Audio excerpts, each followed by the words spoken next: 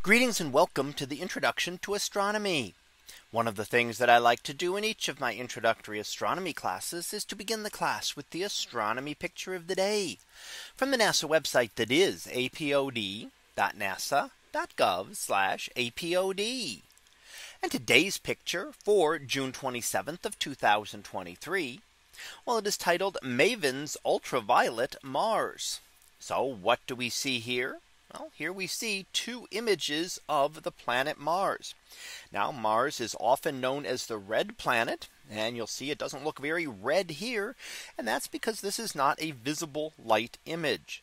Here we are looking at Mars in the ultraviolet. So we're detecting ultraviolet light and coding that into different colors to allow us to see it. Now when we're looking at the surface of Mars here, we see two different images taken about six months apart. On the left, we see from July of 2022. On the right, January of 2023. So we're getting to see some seasonal changes on Mars. Now MAVEN is also known as the Mars Atmosphere and Volatile Evolution spacecraft and is studying the atmosphere of Mars. So while we've often studied the surface, this is a chance to look at the atmosphere. What do we see on the surface? Well, we see a lot of craters in both images as we would normally see in a visible light image. On the left, you'll note that we see the polar cap. That's Mars's south polar cap, very prominent in the winter season on the left but essentially gone in the summer season on the right. So just as our polar caps on Earth grow and shrink with the seasons, so do those on Mars. Now the difference would be that Mars has much longer seasons because its year is longer. It's got a longer orbit takes longer to orbit the sun. And therefore its seasons are going to be longer than those here on Earth. But otherwise it can it has a similar tilt. So has similar seasons to what we are used to here on Earth. Now you notice the purple color on the top of the right hand image. And that is looking at ozone.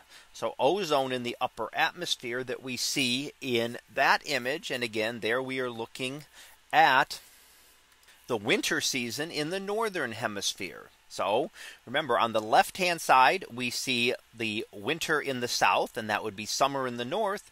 On the right, we would see the opposite. We would see summer in the south and winter in the north, just as we do here on Earth.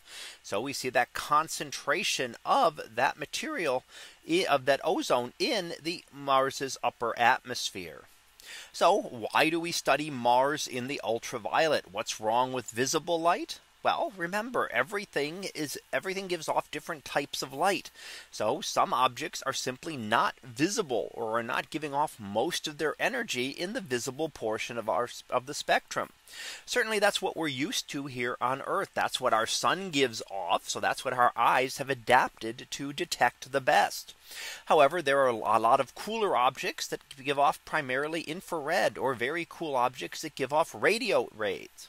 There are also specific elements that will give off different types of light depending on their temperatures.